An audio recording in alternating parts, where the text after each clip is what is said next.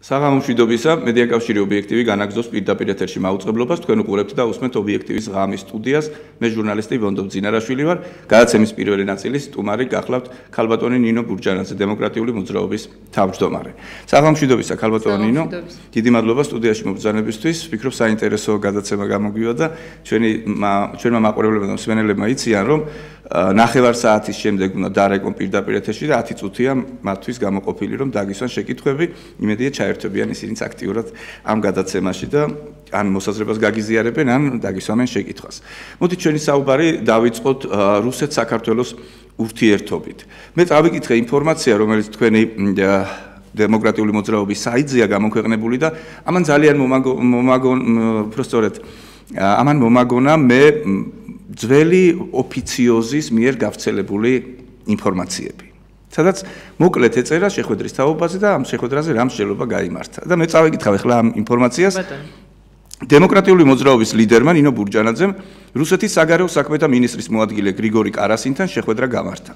სამუშაო შეხვედრაზე განხილული იქნა რუსეთსა და საქართველოს შორის ორქრივი თანამშრომლობის საკითხები.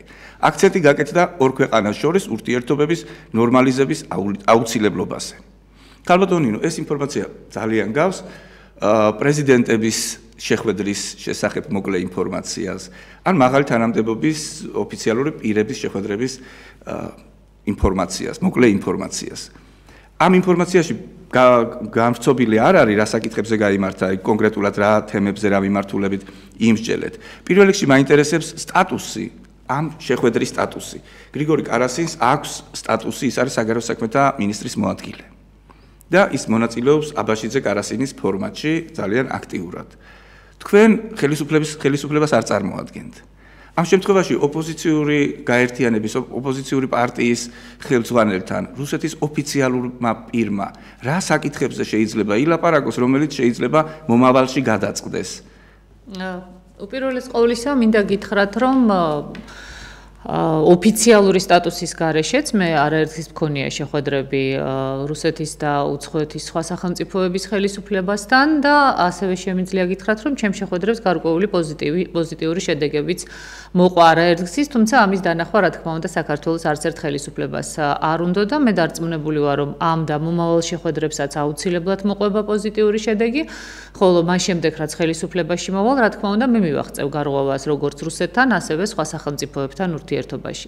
რაც შეეხება სტატუსს, ერთი შემიძლია გითხრათ ბონდო, რომ ჩემი რანგის ადამიანებს თუნდაც ესე ვთქვათ, საერთოდ პოლიტიკურ მოღვაწეობას აღარ აგრძელებდნენ და პარტიის ლიდერებიც რომ არ იყვნენ, განსაკუთრებული სტატუსი არ ჭირდებათ, იმიტომ რომ ყველა ქვეყანაში გარდა საქართველოსა, ორგზის პარლამენტის თავმჯდომარეს და ორგზის პრეზიდენტის მოვალეობის შემსრულებელს და მით უმეტეს ადამიანს, რომელსაც სხვა პოლიტიკური გამოცდილება და წონაც აქვს, ყველგან აფასებენ და ყველგან ინტერესით ხვდებიან.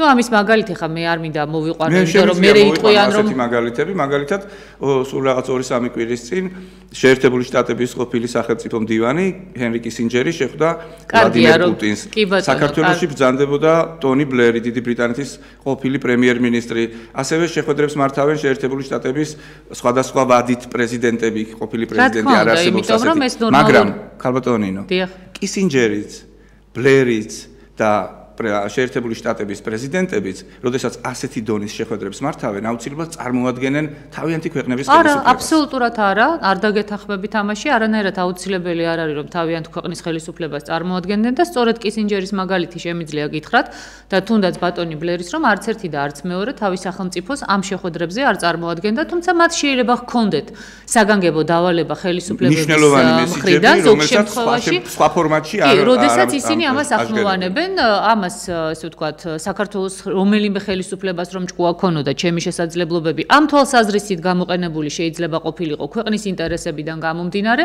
თუმცა თქვენ ძალიან კარგად იცით რომ ჩემი წინა ჩამოსვლის შემდეგ წინა ვიზიტისგან დაბრუნების შემდეგ მე ოფიციალურად მიუმართე მაშინდელ პრემიერ-მინისტრს საქართველოს პარლამენტის თავმჯდომარეს სხვა ოფიციალურ პირებს უთხრი რომ აქვს ძალიან სერიოზული გზავნილები ჩამოტანილი რუსეთიდან. არის შესაძლებლობა რომ ურთიერთობები გაუმჯობესდეს გაუმჯობესდეს და მზადავა რომ ეს ასე ვთქვათ გაგიზიაროთ მეთქი, მაგრამ ინტერესი იყო ნოლი. ეხლა რაც შეეხება ვიტყვი კიდე ერთ რამეს და კიდევ და აი მინდა რომ ეს შეკითხვა დაგისვათ, არ მინდა რომ დიდხანს ამ ასე ვთქვათ სტატუსზე ვისაუბროთ. მე მახსოვს 2003 წელს ჩამოვიდა ჯეიმს ბეიკერი. ის რა თქმა უნდა იცნობდა მაშინდელ პრეზიდენტს, ბუნებრივია, მაგრამ ჩვენ ალბათ არავის არ აღვიქვამს როგორც მეგობრული ვიზიტი. და მაშინაც კეთდებოდა განცხადებები, მათ შორის ბურჯანაძე დემოკრატების მხრიდანაც, მაშინდელი გაერთიანების მხრიდანაც, რომ ეს არის შეერთებული შტატების ხელისუფლებიდან გზავნილი შევარდნაძისთვის და ამ ფორმატით მას რაღაც გარკვეულ წინადადებას თავაზობთ. ამას ისიც რატომ გეკითხებით? აი თქვენ ბძანეთ, რომ პრემიერ-მინისტრს ჩამოუტანეთ იქიდან გზა პროფესორის შესთავაზეთ, რომ არის გარკვეული გზავნილები და თქვენ ჩვენ გავმართოთ შეხვედრა და ამ საკითხებთან დაკავშირებით თქვათ ვისაუბროთ. აქედან იქით როდესაც მიბძანდებით მაშინ არ მიგაქვთ ხოლმე საქართველოს ხელისუფლებასთან არა რა თქმა უნდა იმიტომ რომ მე საქართველოს ხელისუფლებასთან არანაირი კონტაქტი არ მაქვს. საქართველოს ხელისუფლებას არ აქვს რეალურად სურვილი რომ ესაუბროს ეხლა გამოჩნდა რაღაც ამის ესე ვთქვათ სურვილი თითქოს ხო ოპოზიციურ პარტიების ჯგუფს შეხვდა რამდენჯერმე პრემიერ-მინისტრი მაგრამ ეს მხოლოდ ერთ კონკრეტულ საკითხთან დაკავშირებით არის არჩევნო გარემოსთან დაკავშირებით სხვა თემებთან დაკავშირებით საქართველოს დღევანდელ ხელისუფლებას. ისევე არ აინტერესებს ოპოზიციის აზრი როგორც არ აინტერესებდა ეს წინა ხელისუფლებას. ეს რა თქმა უნდა ძალიან დიდი შეცდომაა. მით უმეტეს მაშინ როდესაც ოპოზიციაში არის ადამიანი რომლის შესაძლებლობების გამოყენება ქვეყნის ინტერესებს ინტერესების სასარგებლოდ ნამდვილად შესაძლებელი არის. ეხლა ერთი რამეც არ იცი, ბონდა ძალიან საინტერესოა, ჩვენ საერთოდ ძალიან სერიოზული стереოტიპები შევქმნით საქართველოში და ძალაუნებურად ყველანი ამ стереოტიპებს მეტნაკლებად ვემორჩილებთ, იმიტომ რომ არასოდეს არავინ არ ეკითხება არც ერთ პოლიტიკურ ოპოზიციურ პოლიტიკურ ლიდერს, რომლებიც მიდიან ამერიკის შეერთებულ შტატებში და მართავენ შეხვედრებს, ან ბრიუსელში მიდიან და მართავენ შეხვედრებს, არასოდეს მათ არ ეკითხებიან, კი, მაგრამ რა სტატუსით ელაპარაკები შენ, როდესაც ხვდები, თქვა სახელმწიფო მდივ იუნის წარმომადგენლებს ხო, როდესაც ამ კონგრესში ან ბრიუსელში და ვაშინგტონში ძირითადად საჩივლელად დადიან საქართველოს. ხო, შესაძლებელია, მაგრამ ყოველ შემთხვევაში ესეთი კითხვები არის მება და ეს იმაზე მიუთითებს, რომ ჩვენ გვაქვს სხვადასხვაგვარი დამოკიდებულება, რომ თურმე ამერიკასთან შეიძლება რომ დიალოგი იყოს, ამერიკაში უნდა ჩავიდეს ხელისუფლების წარმომადგენლებიც და ყველაფერი ესე ვთქვათ, უნდა კითხონ და ყველაფერზე თავი უქნიონ, ასევე უნდა ჩავიდნენ ოპოზიციის წარმომადგენლებიც და ყველაფერი კითხონ და მაჭკუაზე იმოქმედონ, ხოლო რუსეთში უბრალოდ დიალოგისთვისაც არ შეიძლება ჩასვლა. არ უნდა გქონდეს სხვადასხვა ასე ვთქვათ დამოკიდებულება. არა, არ უნდა გქონდეს ამ შემთხვევაში, იმიტომ რომ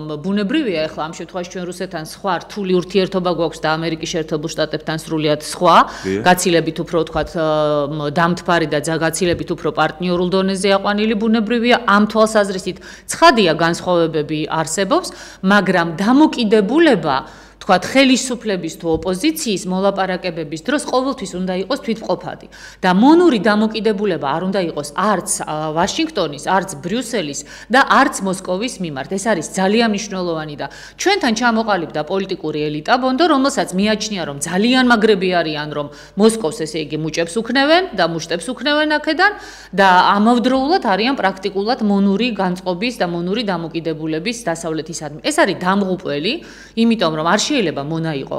მონა არ უნდა იყო არც ამერიკის, არც მოსკოვის და არც არავის, იმიტომ რომ თუ ამერიკის მონა ხარ, თქვენი მოსაზრება ემთხვევა ბატონი დავით არხანმეურავის მოსაზრებას, რომელიც რამდენიმე წელიწადი ამას ამბობს, რომ ჩვენ უნდა დავიცვათ ჩვენი ინტერესები მოსკოვშიც, ვაშინგტონშიც და ბრიუსელშიც და არა პირიქით დავდიოდეთ საჩივლელად ან თავაზობდეთ საკუთარ სამსახურს. ხალბატონინო, ხომ არ არის ამას სხვებიც ამბობენ, მე ნამდვილად მივესალმები, ოღონდ ნამდვილად შემიძლია გითხრათ, რომ ჩემი პოზიცია ყოველთვის ესეთი იყო, მიუხედავად იმისა, ვთქვათ, რომელ მხარე შეიძლება ჩემი პოზიცია გადახრილი გამოჩენილიყო ამის და მიუხედავად ხელისუფლებაში ყოფნის დროსაც 10-15 წლის წინაც და დღესაც მე ყოველთვის ვამბობდი ამას რომ მონური დამოკიდებულება არ უნდა იყოს არავის მიმართ და ყოველთვის ვამბობდი მათ შორის მაშინაც როდესაც ვიყავი ხელისუფლებაში რომ არც ერთი ხელისუფალი არ უნდა იყოს ან პრორუსი ან პროამერიკული უნდა იყოს სწორედ საქართველოს ინტერესებიდან ამომავალი და მე მივესალმები ნებისმიერ პოლიტიკურ ძალას ან ნებისმიერ ადამიანს რომ რომელიც იმავე პოზიციას დააფიქსირებს. ქალბატონინო, შესაძლებელია თუ არა რომ თქვენი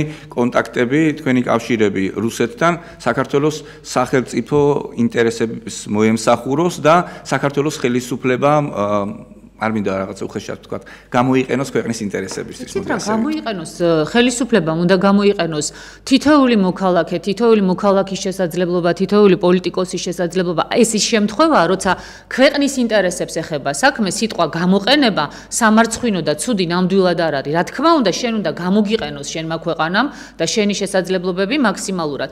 მე ნამდვილად შემიძლია ბონდო თქვა, რომ არაერთ გზის ადრეც და უკვე ჩემი ოპოზიციაში წამოსვლის შემდეგაც ნამდვილად ძალიან სერიოზული იყო ჩემი წვლილი იმაში რომ კიდევ უფრო ბეტი სირთულე არ ყოფილიყო რუსულ-ქართულ ურთიერთობებში. ნე ნამდვილად შემიძლია ვთქვა რომ ის გარღვევა რომელიც მოხდა თუნდაც ვიზებთან დაკავშირებით ან ნაწილობრივ ბაზართან დაკავშირებით ნამდვილად იყო მნიშვნელოვანწილად ჩემი დამსახურება და ამაზე მე ქარბატონინო თქვენ ხელისუფლებაში არ იყავით თუ ხელისუფლება თუ ხელისუფლება თვითონ არ შეარბილებდა რიტორიკას რუსეთის მიმართ ბუნებრივია ვერაფერი ვერ შეცვლიდა რუსეთის კაცრ დამოკიდებულებას. ამიტომ ვთქვი მე რომ ძალიან სერიოზულია ჩემი წვლილი მეთქი. მე არ მithქვამს რომ მხოლოდ ჩემი დამსახურება ეს, ახლა ბუნებრივია რომ ყოფილიყო თქვათ იგივე რიტორიკა, შესაძლებელია რომ ეს ნაბიჯები გაცილებით გვიან გადადგმულიყო, თუმცა შემიძლია ვთქვა რომ ეს ხელისუფლება რომ უფრო გონივრულად და ჭკვიანურად მოქცეულიყო, ჩვენ ვიზების მთლიან გაუქმებას, არა იმ ფორმატით რომელიც ახლა არის, არამედ მთლიან გაუქმებას მივიღებდით გაცილებით უფრო ადრე, ამაზე საუბარი რუსეთის ხელისუფლებიდან არაერთ გზის იყო და მათ შორის მე ეს არაერთ გზის გამიხმოვანებია. მივიღებდით გაცილებით უფრო სრულყოფილ წარმოდგენას ჩვენი პროდუქციისა რუსულ ბაზარზე და ამავდროულად ჩვენი ხელისუფლება რო ოდნავ უფრო გონიერად მოქცეულიყო, არ გაფორმდებოდა ის ხელშეკრულებები აფხაზეთთან და ეგრეთ წოდებულ სამხრეთ ოსეთთან, რომელიც გაფორმდა სულ აი პრაქტიკულად ნუ ერთი წლის წინ იყო დაახლოებით, არ იქნებოდა ვთქვათ კიდევ უფრო გაღრმავება აფხაზეთთან და ოსეთთან ურთიერთობებისა.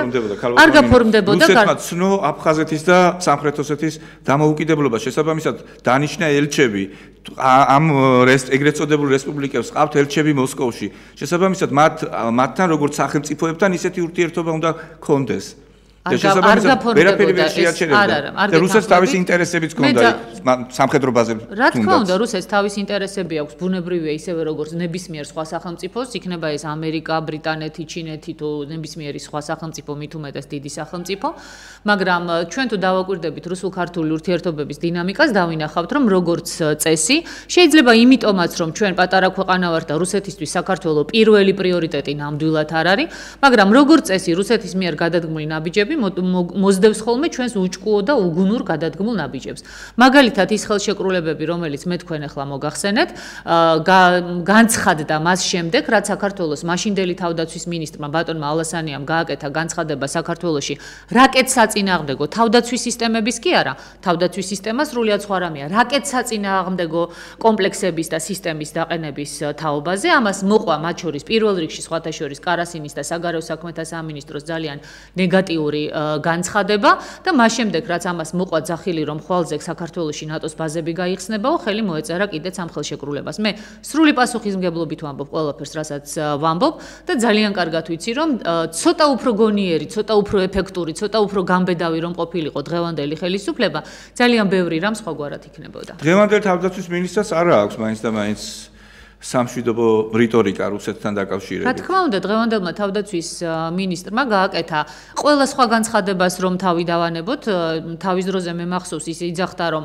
ეხლავე მითხრას ნატომ გვიღებენ თუ არა, ხალხს ვერ მოვატყუებ, ოღონდ ორი წელია ჩვენ პასუხი თუ ერთი წელი მაინც ვერ მივიღეთ, უბრალოდ მივიღეთ ნეგატიური პასუხი და ამას არ იმჩნევენ. განცხადებები, როდესაც თავდაცვის მინისტრმა უკიდურესად აღმაშფოთებელი და შეურაცხყოფელი განცხადება გააკეთა, თქვა იგივე ლენინგრადის ბლოკადის მონაწილეებთან დაკავშირებით. ჩვენ გამოეხმაურეთ მე პირადად ძალიან მკაცრად. რა თქმა უნდა, ამას არ შეიძლება ნორმალური ადამიანი არ გამოეხმაურო და მე საერთოდ ვერ წარმომიდგენი ახლა ნორმალურმა ადამიანმა ამას არ აქვს პოლიტიკას მნიშვნელობა, როგორ შეიძლება ესეთი განცხადებები გააკეთო, ხო? აა იგივე განცხადება, როდესაც თავდაცვის მინისტრმა განაცხადა, რომ თანამედროვე მსოფლიოს გამოწვევები და მთავარი საფრთხე არის ისლამური სახელმწიფო და რუსეთი, როცა ასეთი ტიპის განცხადებებს აკეთებს თავდაცვის მინისტრი, ეს არის უბრალოდ მავნებლობა და მეტი არაფერი, მაგრამ სამწ სამწუხაროდ ბონდო იცით როგორი სიტუაციაა ჩვენ ყავს მინისტრები ყოველ შემთხვევაში აბსოლუტური უმრავლესობა რომლისთვისაც მთავარი ამოცანა არის ის რომ როგორმე თავი მოაწონონ დასავლეთს და ძალიან ბევრი მინისტრი რომლის ამოცანაც არის რომ რაც შეიძლება დიდხანს დარჩეს თანამდებობაზე მაგრამ თუ ვერ დარჩება მე ესე ვთქვათ CV-ში კონდეს ჩაწერილი რომ მინისტრი იყო და მე დასავლეთში ესე ვთქვათ კარგ მასე იყოს ესე ვთქვათ რა ქვია ამას კარქსიაში იყოს ჩაწერილი და მე ესე ვთქვა დასავლეთის ხარჯები. თქვენ მოგიწონებიათ თავი თქვენი CV-ით ქალბატონინო.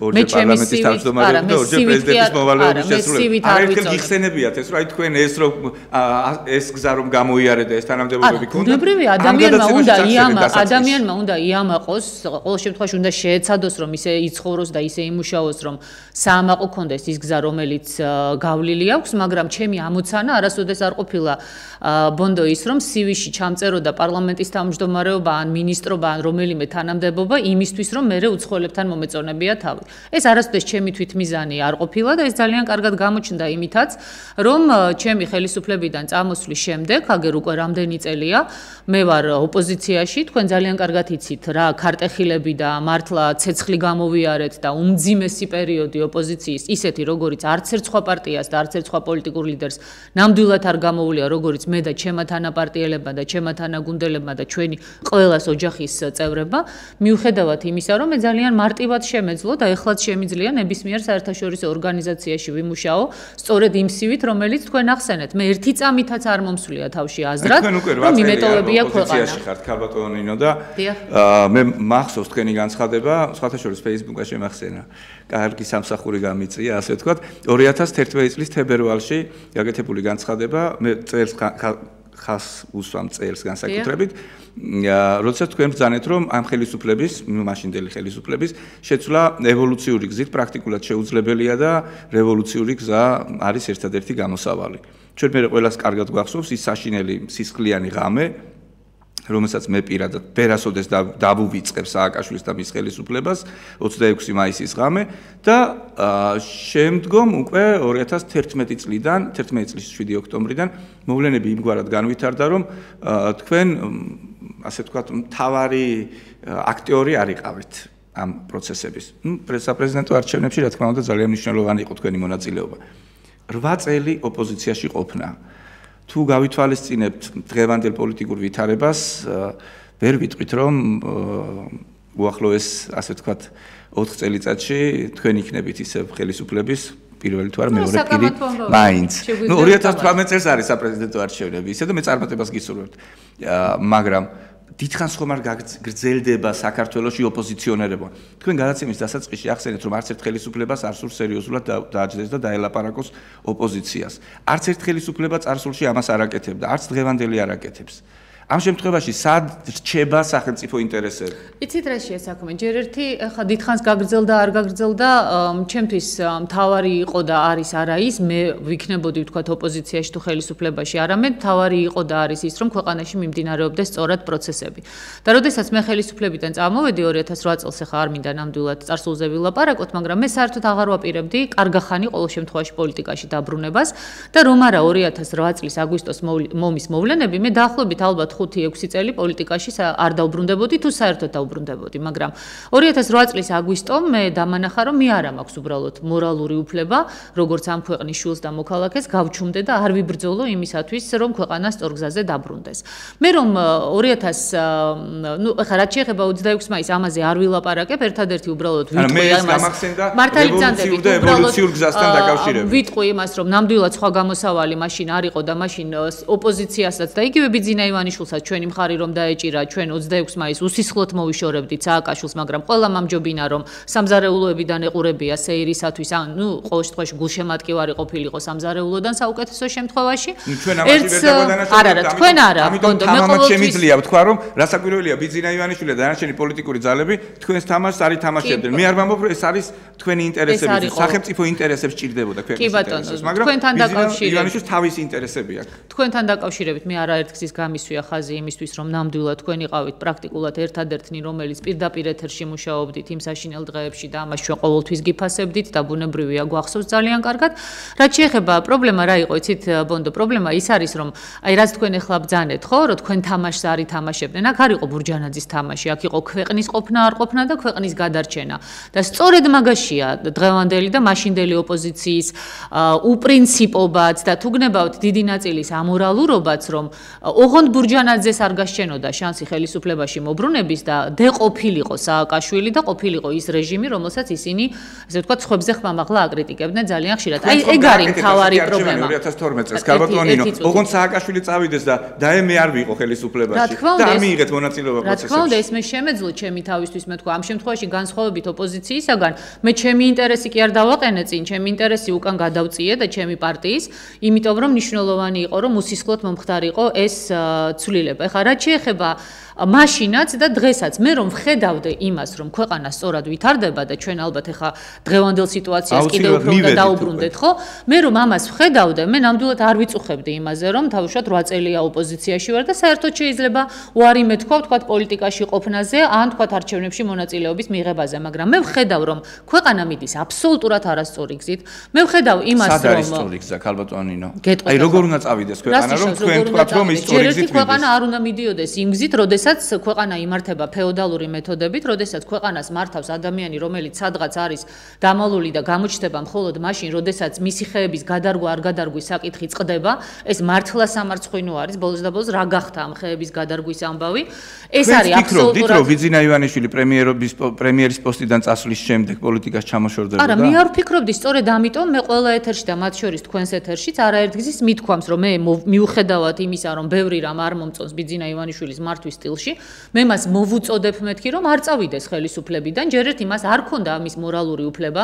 იმდენი დაპირებები გასცა ბატონმა ბიძინა ივანიშვილმა და მისმა გუნდმა, რომ კეთილი ენება ბიძინა ივანიშვილს და კი არ შემალულიყო სოროში. არამედ დარჩენილი ძალიან ეწინება ეხლა არა ნუ ეხლა ეგრე არის ეხლა გინდათ ესე დაარქვით გინდათ როგორც გინდათ ისე დაარქვით. ბიძინა ჩამოშორდა ბიძინა ივანიშვილი ჩამოშორდა ხელისუფლებას მხოლოდ იმ ფორმით და იმ მოცულობით რაც რასაც ქვია ღიად ესე ვთქვათ პასუხისმგებლობიდან ჩამოშორება. ის არ ჩამოშორები არც გადაწყვეტილებების მიღების პროცესს არც ესე ვთქვათ კონსულტაციების პროცესს არც ადამიანების და ფიგურების გადაადგილების პროცესს. ერთადერთი რასაც ის განერიდა ეს არის ღიად პასუხისმგებლობის ტვირთს, რაც ნამდვილად მისასალმებელი ვერ იქნება და კეთილი ინებოს ბიძინა ივანიშვილმა და გასცეს ხალხს პასუხი. იმათ კინო ალაპარაკებს თავიანთ მარიონეტებს თვითონ დაждდეს და გასცეს ხალხს პასუხი 4 წლის წინ, როცა პირდებოდნენ რომ ყველა სოფელს ექნებოდა 5 მილიონი. სად არის ეს 5 მილიონი? სად არის? რატო არ მიიღო არც ერთმა სოფელმა არა თუ 5 მილიონი, არამედ 50000-იც კი. როცა ადამიანებს პირდებოდნენ, რაც კატეგორიულად არასწორი იყო და სამწუხაროა რომ ჩვენი ადამიანები ამას იჯერებენ, მაგრამ ხო ფაქტია რომ იყო ასეთი დაპირებები გაცემული რომ თქვენ გადაგიხდიან კრედიტებს და დაგიფარავენ კრედიტებს. თქვენ სახლებიდან არავინ არ გამოგაგდებთ. თქვენ ესე ვთქვათ უფასო გექნებათ ესე ვთქვათ გაზი, შუქი და ასე შემდეგ. ან რატო გასცა ეს დაპირებები, ან თუ გასცა ეს დაპირებები, კეთილი ინებოს ახლა დადგეს და ამ ხალხს დაუწყოს ესე ვთქვათ კონკრეტულად ახსნა, რატო მოატყუა ქართველი ხალხი მან და მისმა თანაგუნდელებმა. ხო შეიძლება რომ ეხლა თქვენს ოპონენტს გაუჩნდეს ასეთი შეკითხვა, როგორ პოლიტიკაში ასეთ ასეთმა გამოცდილმა ნინო ბურჯანაძემ არიწოდა, რომ ყველა არც ერთი ეს დაპირება უბრალოდ ვერ შესრულდებოდა. არა, ნინო ბურჯანაძე მიცოდა, რა თქმა უნდა, მაგრამ რატომ არა რატო არ აფრთხილებდა ხალხს 2012 წლის წინა საარჩევნო კამპანიის დროს? არა, უკაცრავად ახლა იცით რაშია საქმე, და მე ვერც კი წარმოვიდგენდი იმას, რომ ჩვენი მოსახლეობა დაიჯერებდა იმას, რომ ადამიანებს ყოველას კრედიტებს გადაუხდიდნენ. და ძალიან ბევრი დაპირება, ახლა მე არ ვიყავი უშუალოდ ჩართული წინა საარჩევნო კამპანიაში, ძალიან ბევრი დაპირება მე პოსტფაქტუმ მოვისმინე, ეს ერთი მომენტი იყო, გარდა ამისა, ახლა არსებობს უფრო მეტი ბოროტება და უარესი ბოროტება, არა? უარესი ბოროტება იყო ნაციონალური მოძრაობა, რომელიც აუცილებლად უნდა ყოფილიყო მოშორებული და გულწრფელად გეტყვით იმას, რომ ეხა მე ნამდვილად ვფიქრობდი იმას, რომ 100%-ით და 50-ითაც ეს დაპირებები ვერ შესრულდებოდა, მაგრამ 10%-ითაც თუ არ შეასრულებდნენ ამ დაპირებებს, ამას ნამდვილად სიმართლე გითხრათ, ვერც მე ვერ წარმოვიდგენდი, მაგრამ მე უკვე როდესაც იგივე საპრეზიდენტო არჩევნები იყო, ბუნებრივია, მე მაქვს ესე ვთქვათ, ამ შემთხვევაში როგორც საპრეზიდენტო კანდიდატს კი არა, როგორც უბრალოდ ამ ქვეყნის მოქალაქეს თუნდაც ყველანაირი მორალური უფლება, რომ ესე ვთქვათ, საყვედური ვთქვა იმასთან დაკავშირებით, რაც მოხდა საპრეზიდენტო არჩევნებზე, როდესაც ადამიანებმა დაიბრმავეს თავი, დაიყრუეს თავი და ხმა მისცეს ადამიანს, რომელსაც არც იცნობდნენ, გვარიც არ იცოდნენ, სახელიც არ იცოდნენ, ხმა მისცეს მხოლოდ იმიტომ, რომ ბიძინა ივანიშვილმა დააშანტაჟა მოსახლეობა და უთხრა, რომ აღარ მოგეხმარებით და აღარ დაგეხმარებით, თუ არა ირჩევთ იმ კაცს, ვინც მე დაგიყენეთ, ესე ვთქვათ, არჩევნებზე. ხა იმედი მაქვს, ბონდო თქვენ წეხან თქვით, რომ მოახლოეს ხანებში მოვალ თუ არ მოვალ ხელისუფლებაში, ეს არის დამოკიდებული მხოლოდ და მხოლოდ საქართველოს მოსახლეობაზე. მე იმედი მაქვს, რომ დღეს არა, იმ მოცულობით და იმ თანამდებობას გულისხმობ, რაც თქვენ თქვენ იყავით როგორც იყავით ძალიან მაღალი თანამდებობა გეკავათ ხელისუფლების მაგრამ მოდით ესე ვთქვათ ესე ვთქვათ ბერკეტები მიუხედავად ამ დიდი თანამდებობისა მე ნამდვილად ნაკლები მქონდა ხელში სამწუხაროდ. მაგრამ თუ ეხლა დღეს საქართველოს მოსახლეობა ნამდვილად გააკეთებს სწორ არჩევანს და თავის თავს დაუსვამს კითხვას რომ ვინ არის ის ადამიანი და ვინ არის ის პოლიტიკური გუნდი რომელსაც შეუძლია ქვეყნის პრობლემების მოგვარება. იქნება ეს რუსეთი იქნება ეს ევროპა იქნება ეს ქვეყნის საშინაო პრობლემები რომელიც მოსახლეობას ასე აწუხებს სოციალური ეკონომიკური პრობლემები საქართველოს პროდუქციის სხვა ბაზარზე გატანის პრობლემები თუ ასე შემდეგ და თუნდაც ვინ არის ის პოლიტიკური ძალა რომელიც იმ ფასეულობებს რაც არის ჩვენთვის საქართველოს მოსახლეობისათვის უმნიშვნელოვანესი რაც არის ჩვენთვის ტრადიციულ ოჯახებში გაზრდილი ადამიანებისათვის მნიშვნელოვანი რომელი პოლიტიკოსი და პოლიტიკური ძალა დაიცავს ამას და რომელი შეძლებს არა მარტო ლაპარაკს არამედ საქმის გაკეთებას მე და ასეთ შემთხვევაში დარწმუნებული ვარ რომ ჩვენ ნამდვილად მივიღებთ გადამწყვეტი ხმის უფლებას ამ არჩევნების მეშვეობით და საქართველოს მოსახლეობა ნამდვილად დაინახავს იმას რომ ქვეყანა ჩვენი ესე ვთქვათ სწორი პოლიტიკის გატარებით დაიწყებს სწორი გზით სვლას. ეს რა თქმა უნდა ხა არა ეს არის სწორი გზა. თქვენ თქვენ ბრძანებთ რომ სწორი გზა არის ის რაც თქვენ ჩამოთვალეთ და მე მოთმინებით გისმენთ. ქალბატონინო ჩვენ ყველამ ძალიან კარგად ვიცით და თქვენ მით უმეტეს როგორც იტყვიან ყველა სახელმწიფო საიდუმლოებაზე ხელი მიგიწვდებოდათ ერთეულებს ჰქონდათ ამისი შესაძლებლობა. ხელისუფლებაში ზოგადად ერთეულებს აქვთ ამის ამის შესაძლებლობა. კარგად იცით რამხელა ასე ვთქვათ შრომა და რესურსები აქვს ჩადებული აქ შეერთებულ შტატებს. ის რაზეც თქვენ საუბრობთ გარკვეულწილად ორი დიდი სახელმწიფოს ინტერესთა შეჯახებაა. ხომ არ მივიღებთ ჩვენ იმგვარ ვითარებას აქ, როდესაც 1783 წელს გიორგიევსკის ტრაქტატი გაფორმდა და 12 წლის შემდეგ აღა მაჰმადხარმა აოხრა საქართველოს. ხომ არ მივიღებთ ისეთ სურათს, როდესაც დასავლეთისკენ სწრაფვაში მისწრაფ მისწრაფებ დასავლეთისკენ მისწრაფების დროს საქართველოს შეიძლება რუსეთიდან რუსეთიდან დაემუქროს კიდევ უფრო დიდი საფრთხე 22% ტერიტორიების გარდა, დაკარგვის გარდა და ამავდროულად თუ კი ჩვენ კვეთრად შემოვტრიალდებით, კვეთრად შემოუბრუნდებით, ხომ არ მივიღებთ ძალიან ძიმე პასუხს შეერთებული შტატებისგან რომელიც ნამდვილად არ დაკარგავს თავის არც მილიარდებს და არც იმ ადამიანურ რესურსს რომელიც აქ ჩადო.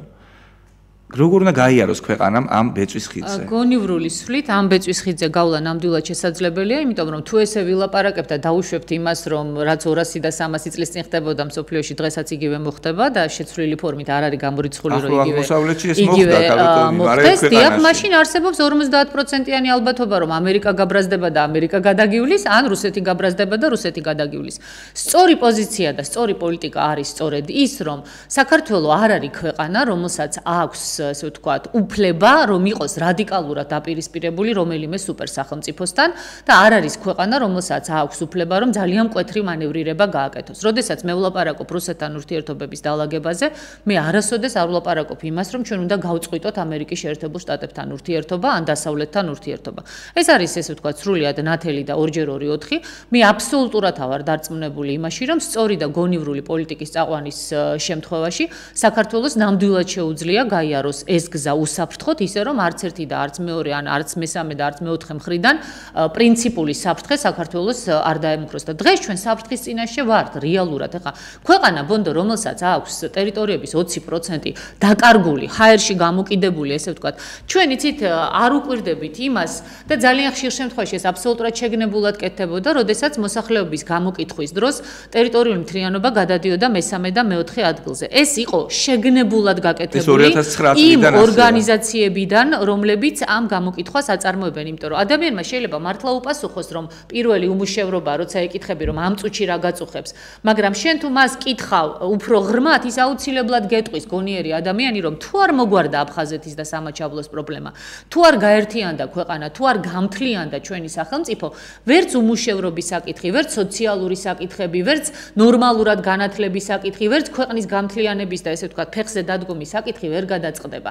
ეს ჩვენმა მოქალაქეებმა უნდა გაიცნობიორონ, იმიტომ რომ პრაქტიკულად ყველა ხელისუფლება მეტნაკლებად აგუებდა საქართველოს მოსახლეობას იმას, რომ აფხაზეთი და სამაჩაბლო უკვე დაკარგული ხა. ის განცხადებები, რომლებიც ნატოსთან ყველა არა სააკაშვილის ხელისუფლება, თქვენ კარგად გახსოვთ წინა ხელისუფლების წინა წინა ხელის სააკაშვილამდე ხელისუფლების პირობებში ცხინვალში თავისუფლად დადიოდა ხალხი და ცხინვალის გავლით რაჭაშიც დადიოდნენ. არა, ეგ ფაქტობრივად 2004 წლის შემდეგ დაიწყო ის პროცესები, 2006-ში ძალიან ძალიან გამწვავდა 2008-ში ომიც მოხდა ჩვენს თვალწიხდებოდა ეს არა ფაქტობრივად იყო ეგ თუმცა შეცდომები იყო მაშინაც დაშვებული ძალიან სერიოზული რაც შეეხება დღევანდელ ხელისუფლებას იყო თუ არა შეცდომა როდესაც ავტონომია აღადგინეთ ხალბატონინო ბატონო სამხრეთ ოსეთის ავტონომიური რესპუბლიკა რომ აღადგინეს. მე არ აღმიდგენია სამ თქვენი პარლამენტში მუშაობის დროს არა, არა, ეს ეს არ იყო, ეს გაცილებით ადრე იყო, ვიდრე მე პარლამენტში მოხდებოდი.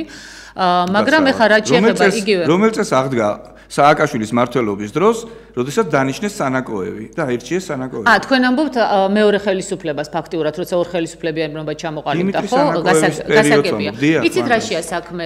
რა საზღვრებშიც ახლა არის მოქცეული? საქმე იმაშია რომ საქმე იმაშია რომ ჩვენ არ უნდა გამოვედევნოთ ტერმინებს და ჩვენ უნდა არა არ იყო შეცდომა ალბათ მე ესე ვფიქრობ ეხა იქ ვთქვათ მეორე ხელისუფლების დანიშნვა რამდენად შეცდომა არის ეს მეორე საკითხია იმიტომ რომ სხვაგვარად უნდა ემუშავა მაგრამ ის რომ ეხა სამხრეთ ოსეთი ავტონომიური სტატუსის გარეშე არასოდეს აღარ იქნება საქართველოს შემადგენლობაში მე მგონი ამაზე ჩვენ უნდა შევხვდეთ მაგრამ 20 წელი ახალგორი მცხეთას მცხეთამთიანეთს ეკუთვნოდა. იქ ზნაურის რაიონი აღარ არსებობდა ქარელზე გულში აი ამ დეტალებზე ჩვენ ეხლა რა თქმა უნდა მაგრამ ამაზე მაშინ ჩვენ ცალკე გადაცემაში უნდა ვისაუბროთ, იმიტომ რომ უბრალოდ ფიზიკურად ვერ ჩავეტევით დროში, მაგრამ ის რომ ჩვენ ყველაზე დიდი შეცდომები მაშინ დაუშვით, როდესაც არათუ ავტონომიები არ აღვადგინეთ და გავაუქმეთ, არამედ არ დავეთანხმეთ იმ წინადადებებს, რომელიც თავის დროზე იყო აფხაზეთის და ოსეთის სტატუსის დარეგულირებასთან დაკავშირებით, როდესაც გვთავაზობდნენ, რომ ავტონომია იყოს, მე გვთავაზობდნენ, რომ განსაკუთრებული სტატუსი კონდეს აფხაზეთს და ნუ კონფედერაციაზე ხო საერთოდ ესე ვთქვათ, კატეგორიული წინააღმდეგი წავედი, დღევანდელი გადმოსახედიდან ჩანს, რომ ეს იყო ძალიან დიდი შეცდომა, იმიტომ რომ ისეთი შეცდომები დაუშვა საქართველოს,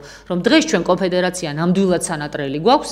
ეხლა ეს ძალიან ცუდი მოსასმენია და მძიმე მოსასმენია, მაგრამ ეს არის ობიექტური რეალობა და ჩვენ ასეთი შეცდომები აღარ უნდა დაუშვათ არავითარ შემთხვევაში. რაც შეეხება აი იმ თემას, რასაც მე ვამბობდი, კიდევ ერთხელ მინდა ჩვენმა ხალხმა ეს კარგად გაიცნობიეროს. მე ძალიან კარგად მესმის ის უმძიმესი სოციალური პრობლემები, რომელიც აქვთ ადამიანებს და ეს არის ამ ხელისუფლების პირდაპირი უგუნურობის, პირდაპირი ესე ვთქვათ, უსუსურობის ბრალი. იმიტომ რომ ხელისუფლებამ ვერ შეძლო ვერც ერთი პრობლემის მოგვარება, ვერც ერთი.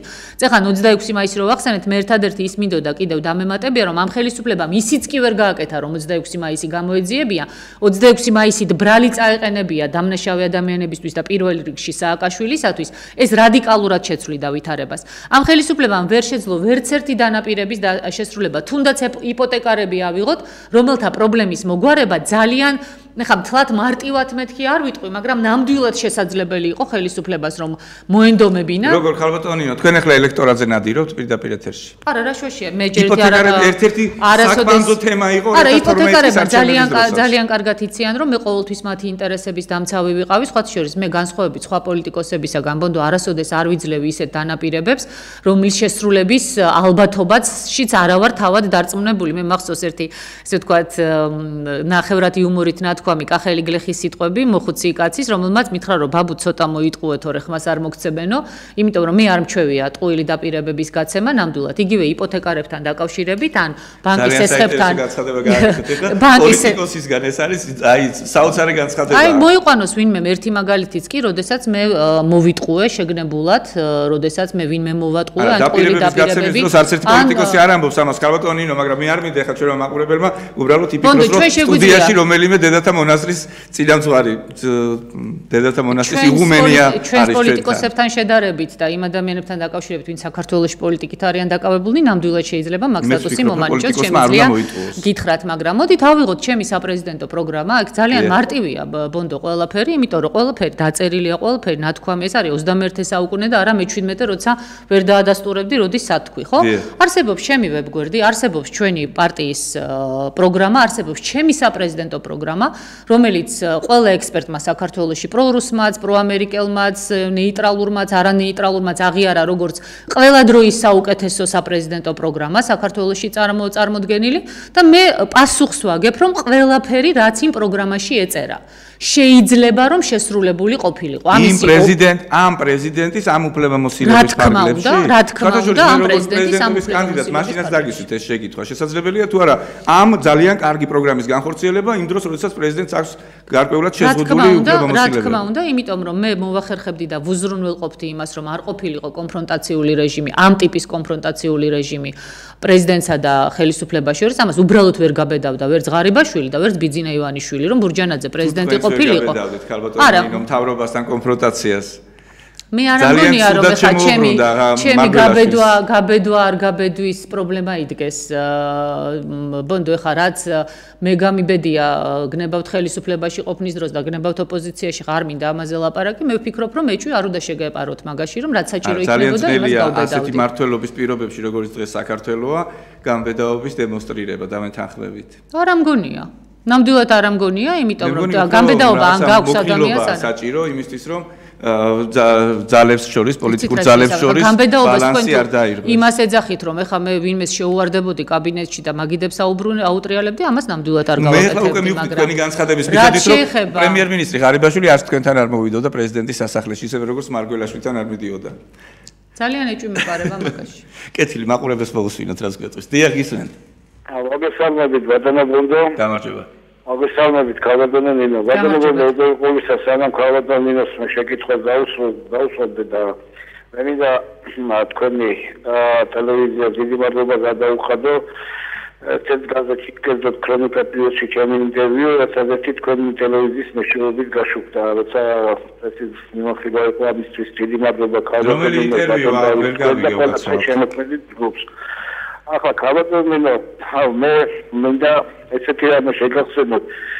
თქვენი პარტიის წევრი კალვატონი ნინო ცინცაბაძე თქვენ ალბათ გეცნობათ ეს გვარი. აა სამჯერ დავტოვე წინა საარჩევნო პერიოდიც იყო თანაც.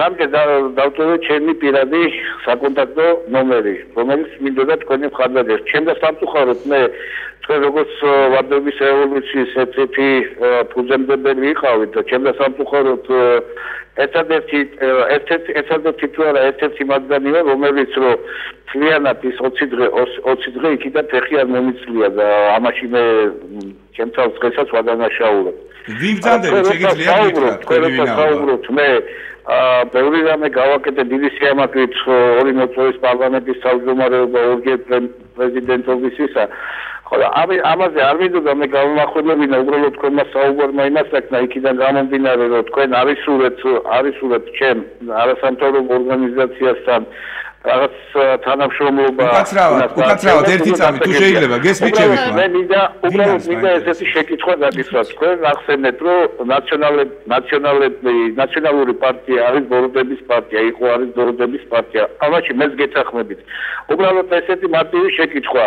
როცა თქვენ იყავით იმ მოწვევის პარლამენტის თავმჯდომარე მაშინ ერთად იყავით გაერთიანებული აი მაშინაც იყო ბოროტების პარტია ანუ თქვენ ბოროტების პარტიის პარლამენტის თავმჯდომარე იყავით თუ არა ის მაინტერესებს. მადლობა უკაცრავად არ გათიშო თუ შეიძლება? დიახ ვინ ბრძანდებით შეგიძლიათ გითხრათ?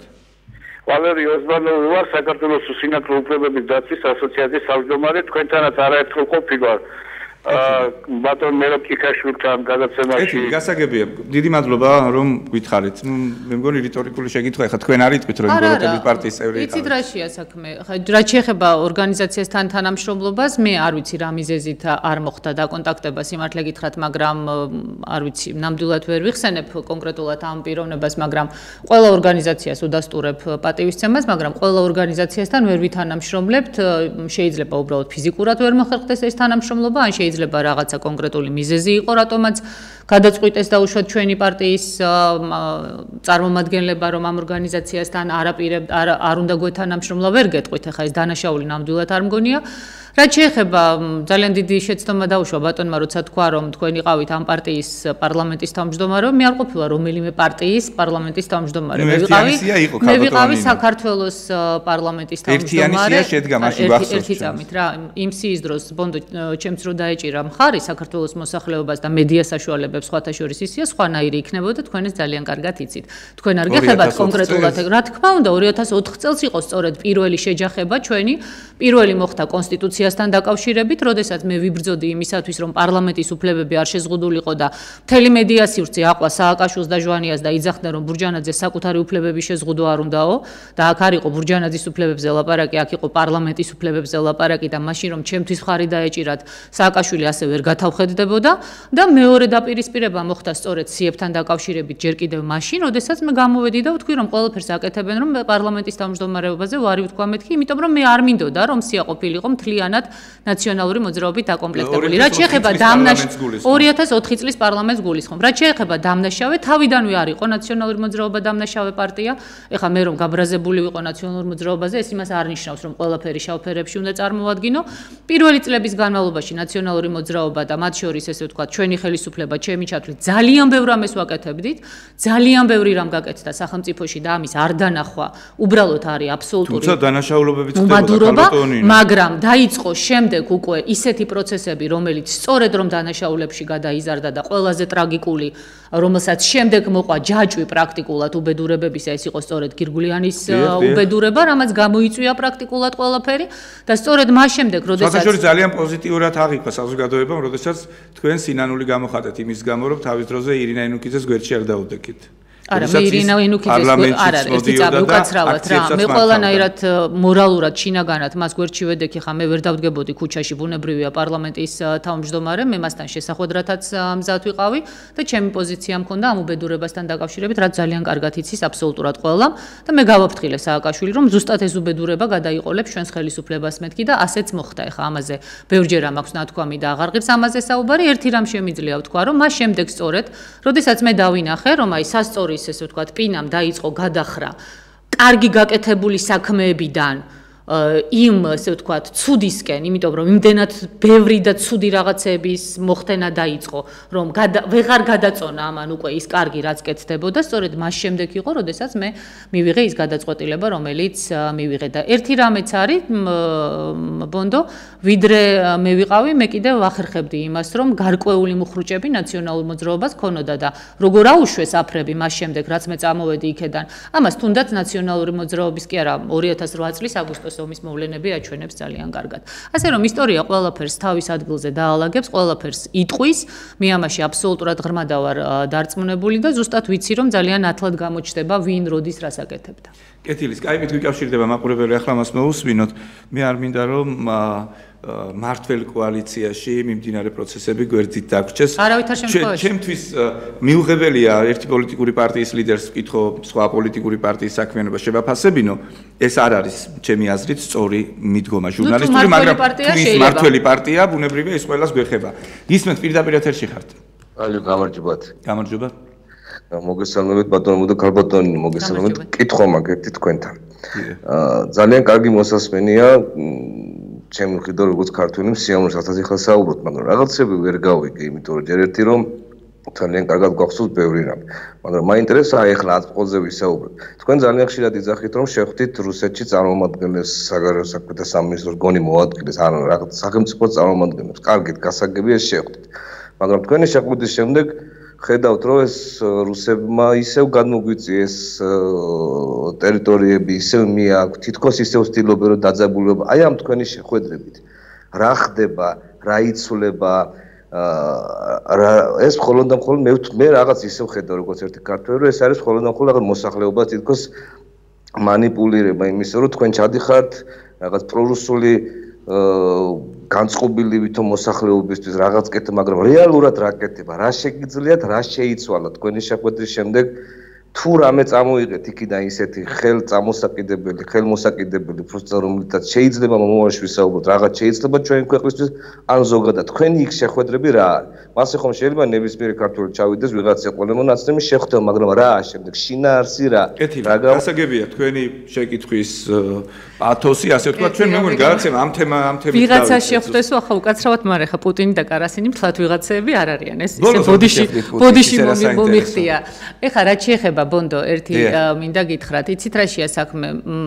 პატივისცემით ჩვენი მსმენელისადმი მაგრამ მე მჩება ხოლმე შტაბეჭდილება ხა როგორც ჩანს ახალგაზრდა კაცია და მეხსიერებაც არ უნდა ღალატებდე ღალატობდეს ახლა ყველაფერი მახსოვსო ამბობს და თუ ყველაფერი გახსოვთ მაშინ ისიც უნდა გახსოვდეთ არაერთგზის გამიკეთებია განცხადებები იმასთან დაკავშირებით კონკრეტულად რა შედეგები მოყვა ჩემს რუსეთში ვიზიტს. პირველი შემთხვევა იყო როდესაც მე პუტინს შევხვდი და მთელი იმ პერიოდიდან გამომდინარე, რაც წინ უძღოდა ამ ჩემ შეხვედრას, როცა რუსეთი კატეგორიულად ამბობდა, რომ ჩვენ საქართველოს დაველაპარაკებით ყველაფერზე გარდა აფხაზეთის და სამხრეთ ოსეთის. და ეს თემები დახურულია რუსულ-ქართულ მოლაპარაკებებშიო, ჩემი შეხვედრის შემდეგ ჯერ საგარეო საქმეთა სამინისტრომ და შემდეგ ვლადიმერ პუტინმა პირადად გააკეთა განცხადება. თქვენ დაარწმუნეთ პუტინი რომ ამ თემაზე აუცილებლად საქართველოს ხელისუფლება. ეს მოხდა ჩემი შეხვედრის დამთავრების შემდეგ და ეხა ჩემთან ერთად ჩვენ მარტონი ვიყავით ოთახში, ხო? ესე გამოვიდა რომ მე დავარწმუნე. თქვენ უნდა გაგვცეთ პასუხი ამ შეკითხვაზე ამ პუტინმა. ხო. შეგიძლიათ რა ვიცი ვკითხოთ სწორედ რომ მე დავარწმუნე რუსეთის ხელისუფლება რომ საქართველოსა და რუსეთს შორის ურთიერთობებში არ უნდა იყოს დახურული თემები მათ შორის და აფხაზეთის და სამაჩაბლოსი უპირველეს ყოვლისა და გაკეთდა ეს განცხადება რომ აღარ არის საქართველოსა და რუსეთს შორის დახურული თემები ყველა თემაზე ჩვენ ვართ მზად სასაუბროთ მათ შორის უმძიმეს თემებთან დაკავშირებითაცო ეხლა ეს არის გარღვევა ნებისმიერ მოლაპარაკებებში თუ იმეს არა ვერ დაიწყო ეხლა ეს ჩემი ბრალი არ არის ეხლა უკაცრავად მე ჩამოვედი და აქ ჩემი ფეხსაცმელები აჩვენეს ყველა არხზე, თქვენ არხს არ გულისხმობ, ეს არ არის ბურჯანაძის ბრალი. ამას გაგრძელება. ამას პროტოკოლი არსებობს, პროტოკოლი არსებობს და ქვეყანას როცა წარმოადგენს, იცივეც უნდა აიტანო. ეხლა და ბოტებით არ უნდა დადგენ. მაგრამ თქვენ ქვეყანას არ წარმოადგენთ, ქალბატონო. არა, როგორ გეკადრებათ? ქვეყანას ჩვენ წარმოადგენთ ბონდო თანამდებობის და მიუხედავად ევროპაში რო ჩადიხართ, ან ამერიკაში ჩადიხართ, ან აფრიკაში ჩადიხართ, ქვეყანას ქვეყანას წარმოადგენთ ყველგან და მით უმეტეს ნამდვილად ქვეყანას წარმოადგენდი იმ წუთში ყოველ შემთხვევაში ქვეყნის გარკვეულ ნაწილს. რაც შეეხება შემდეგ შეხვედრას, სადაც ასევე მე მინდა ბატონმა კარგად დაიმახსოვროს ეს და ანალიზი გააკეთოს, დარწმუნებული ვარ თუ ის შეეცდება ობიექტურად შეძლებს ამის აწონ-დაწონას. მეორე განცხადება, რომელიც ასევე პუტინმა გააკეთა შემდეგი შეხვედრის დროს, როდესაც მან თქვა, რომ მიუხედავად ჩვენი ურთიერთობის აფხაზებთან და ოსებთან, თუ ქართველები და ოსები, ქართველები და აფხაზები მოილაპარაკებენ, ჩვენ არ ჩავერევით რა ტიპის სახელმწიფოებრი მოწყობაზე მოილაპარაკებენ ისინი. ეს განცხადება ორჯერ გააკეთა. განცხადება ეს ფაქტიურად ნიშნავდა იმას, რომ თქვენ თუ მოილაპარაკებთ და აფხაზეთს და ოსეთს დაარწმუნებთ, რომ რაღაც ერთიანი, ესე ვთქვათ, სახელმწიფოში იცხოვროთ, ჩვენ ამას ხელს არ შეუშვით ჩვენი აღიარებით. მე შეძლებ რომ დაარწმუნოთ აფხაზეთს. მე დაარწმუნებული ვარ, რომ შევძლებ რთულად, რაც დრო გადის, მით უფრო ესე ვთქვათ, რთულდება ეს შანსი, მაგრამ დაარწმუნებული ვარ, რომ შევძლებ. ჩემი შემდგომი შეხვედრის შემდეგ მე ვამბობ ნამას და ნამდვილად ლომისწრილია ჩემი იმაში, რომ იქნა ესე ვთქვათ სავიზო რეჟიმი გამარტივებული და კიდევ ერთხელ ვამბობ რომ ქვეყანას რომ ნაბიჯები გადაედგა ეს სავიზო რეჟიმი გაუქმდებოდა. მე ჩამოვიტანე პირველად ეს ამბავი რომ რუსეთი მზად არის სავიზო რეჟიმი გააუქმოს მეთქი.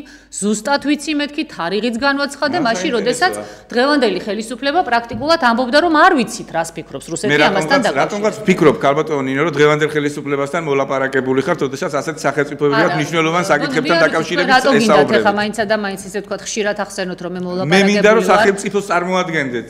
ნუ ეს მეორე თემა. კონკრეტულ პარტიას ხოლმე. ეს არ უნდა ამ ამ სახელმწიფოს ხელმძღვანელობას დღევანდელს და ხალხი თუ მოისურვებს, ნამდვილად ვიქნები, ვთქვათ, სახელმწიფოს წარმომადგენლის ოფიციალურ რანგში.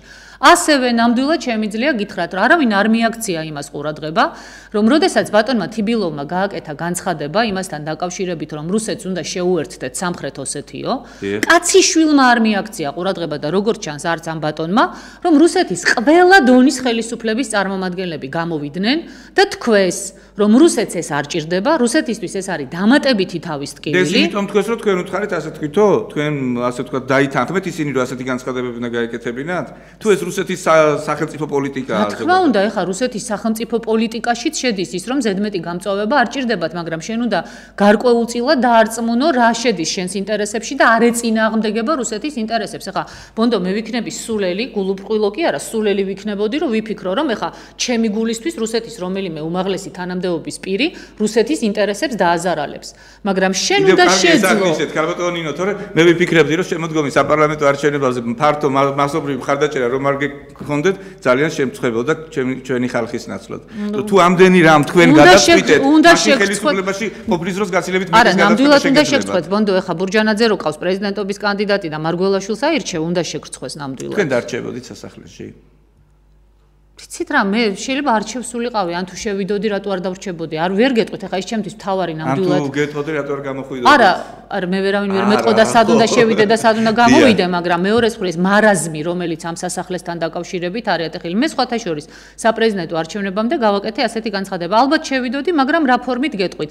მე მაშინ ვთქვი რომ ეს საპრეზიდენტო სასახლე უნდა იყოს საერთო პრეზიდენტისა და მთავრობისათვის იმიტომ რომ ეს არის საკმაოდ დიდი შენობა მაგრამ შენობა რომელიც არის სწორედ რომ სახელმწიფო უწყებისათვის მორგებული და არა მუზეუმისთვის ან არა უნივერსიტეტისათვის.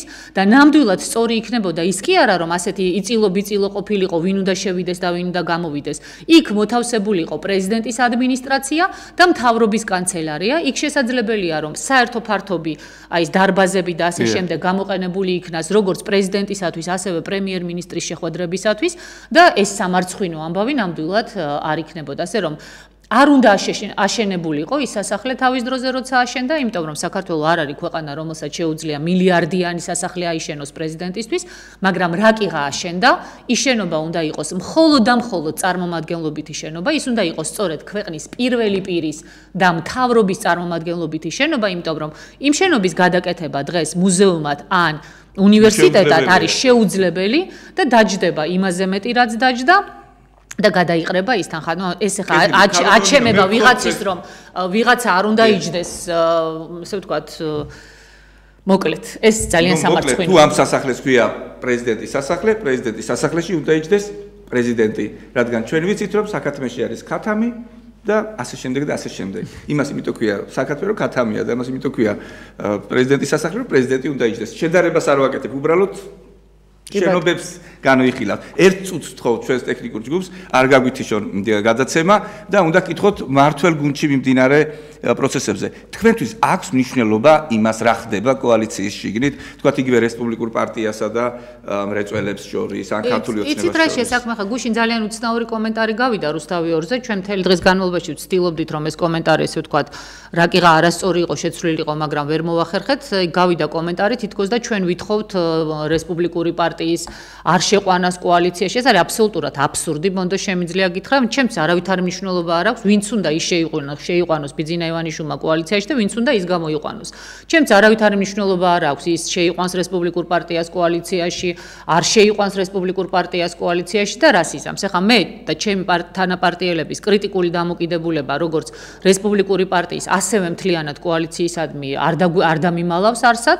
ჩვენ ვართ კრიტიკულად განწყობილი საერთოდ კოალიციისადმი და მიმაჩნია რომ არა მარტო რესპუბლიკური პარტია უნდა ჩამოშორდეს ხელისუფლებას, არამედ თლიანად კოალიცია უნდა ჩამოშორდეს კოალიციაში არის არის პოლიტიკური ძალები რომლებთანაც თქვენი თანამშრომლებდით არა თანამშრომლობა პრაქტიკულად პრაქტიკულად ყველასთან შეიძლება ასე ვთქვათ რესპუბლიკელებთან რა ბატონინო რესპუბლიკელებთანაც თუ სხვა პარტიასთანაც ეს ესე ვთქვათ დამოკიდებული არის კონკრეტულ საკითხზე, ხო? შეიძლება კონკრეტულ საკითხზე პოზიციები დაემთხოს, თუმცა ძალიან ძნელად წარმომიდგენია ჩემი პოზიცია, როგორ შეიძლება რამეში რესპუბლიკური პარტიის წარმომადგენლების პოზიციას დაემთხოს, მაგრამ მე ერთი რამ შემიძლია გითხრათ, მე მიმაჩნია, რომ არასწორია ყველაფრის რესპუბლიკურ პარტიაზე გადაბრალება და ამის ტენდენციებს მე ვხედავ სხვათა შორის, მათ შორის ოპოზიციაში, რომ რესპუბლიკელები არიან თურმე მარტო ცუდი და ბიძინა ივანიშვილი და დანარჩენი კოალიციაში არიან კარგი. დიდი ბოდიში, მაგრამ რესპუბლიკელები მოიყვანა ბიძინა ივანიშვილმა და ამ კოალიციამ, ასე რომ კეთილი ინებოს ამ კოალიციამ და მარტო რესპუბლიკელებს კი ნუ შეახოცავს ხელებს და ფეხებს მაპატიოს ჩვენმა საზოგადოებამ ამ გამოთქმისათვის, არამედ აიღოს ის პასუხისმგებლობაც, რომელიც რესპუბლიკური პარტიის შეიძლება გადაწყვეტილებებიდან ან აქტიობებიდან მოდის. ესე რომ, აი ეს პოზიცია, რომ რესპუბლიკელები ცუდები არიან და დანარჩენები კოალიციაში კარგი და ბიძინა ივანიშვილი კარგი. ყველას პარლამენტის თავმჯდომარე იყავით, ნაციონალისტსაც, რესპუბლიკელი რესპუბლიკელისაც, კონსერვატორისაც ეხლა გამახსენდა უცბად ის კოალიცია, რომელიც შეიქმნა ის შემდეგ პარტიებად რომ დაიშალა ჯერ კოალიცია, თუმცა ამ კოალიციის სახე არ ქონდა 2004 წლის პარლამენტი რო შეიქმნა, ბინ იყვნენ იმ პარლამენტში. პარლამენტის თავმჯდომარე უნდა იყოს ყველა პარტიის პარლამენტის თავმჯდომარე, ეს ერთმნიშვნელოვანია, ისევე როგორც ქვეყნის პრეზიდენტი უნდა იყოს. ყველა პარტიის პრეზიდენტი, მოგწონს ეს პარტია თუ არ მოგწონს, მოგწონს ესა თუ ის ადამიანი თუ არა, შენ უკვე ამ თანამდებობაზე ვალდებული ხარ, რომ ყველას პრეზიდენტი და ყველას პარლამენტის თავმჯდომარე არ იყო, მაგრამ პასუხისმგებლობა რა თქმა უნდა უნდა აიღო და ბიძინა ივანიშვილმა რა თქმა უნდა უნდა აიღოს პასუხისმგებლობა იმაზე, რომ მან კოალიციაში მოიყვანა რესპუბლიკელები და არა მარტო რესპუბლიკელები, რა თავისუფალი დემოკრატები რითი განსხვავდებიან ბევრად რესპუბლიკელებისაგან. ნამდვილად არაფრით შემიძლია გითხრათ, არც მენტალიტეტით, არც მათი განცხადებებით, არც მათი მსოფლმხედველობით და ეს პარტიები ძალიან ახლოს არიან სწორედ ნაციონალურ მოძრაობასთან თავიანთი მენტალიტეტით და ხედვებით. ეს არის ბიძინა ივანიშვილის დამსახურება, ისევე როგორც ის რომ ნაციონალური მოძრაობა გააცოცა გამოცხლა, გადაარჩინა და დღეს ნაციონალური მოძრაობა მყარად დგას საკმარისად ფეხზე. ეს არის იმის ბრალი, როცა ბიძინა ივანიშვილი საპრეზიდენტო არჩევნებზე იძახდა, რომ მოვახსნევინებ კანდიდატურას მარგველაშვილს და ბაქრაძე გავაო. ეს არის იმის ბრალი, როდესაც თუთიყუშებივით იმეორებდნენ ყველანი დაწყებული ივანიშვილიდან დამთავრებული მისი კოალიციის წევრებით ადგილობრივ არჩევნებზე, რომ ბურჯანაძე სადღაც იქ არის და აგერ მეორე ადგილზე ესე ვთქვათ ფეხდაფეხ მეორე პარტიად მოგზდებს ნაციონალური მოძრაობა და ბევრი სხვა რამ. მე ერთი რამ შემიძლია დასასრულს ბონდო თქვა. თქვენ წეხან ბრძანეთ და ნამდვილად შემიძლია თქვა. მე სწორედ იმიტომ ვიბრძვი ხელისუფლებაში მოსასვლელად რომ ზუსტად ვიცი რა ჭირდება ამ ქვეყანას. დასაბრუნებლად ხო, ну დასაბრუნებლად დავარქვათ, კი ბატონო, ხა ხელისუფლებაში ყოფნა რომ ჩემი თვითმიზანი ყოფილიყო, განსხვავებით ყველა დანარჩენისგან, ვინ ზოგი მოხსნეს, ზოგი ესე ვთქვათ, ისე გაუშვეს, ზოგი ასე გაუშვეს, მე ჩემინებით წამოვედი ხელისუფლებიდან და ეს იყო მართლა უპრეცედენტო შემთხვევა, როდესაც მე ხვეწებოდა ყველა რომ დარჩიო, მაგრამ წამოვედი. ჩემთვის ხელისუფლება არასოდეს არ ყოფილა მთავარი. მე ვიცი ძალიან კარგად რა შემიძლია ჩემს ქვეყანას გაუკეთო. მე ვიცი რომ გარდატეხა ნამდვილად შემიძლია შევიტანო ქვეყნის როგორც საგარეო, ასევე სა საშინაო პოლიტიკაში სწორედ ქვეყნის ინტერესებიდან გამომდინარე და აქედან გამომდინარე იმედი მაქვს რომ მოსახლეობა არ მიიღებს იმ გადაწყვეტილებას რომ მე თავში საცემი კონდეს ხელი ჩვენ 2016 წლის არჩევნებამდე არაერთხელ შევხვდებით. იმედი მაქვს ობიექტივის სტუდიაში.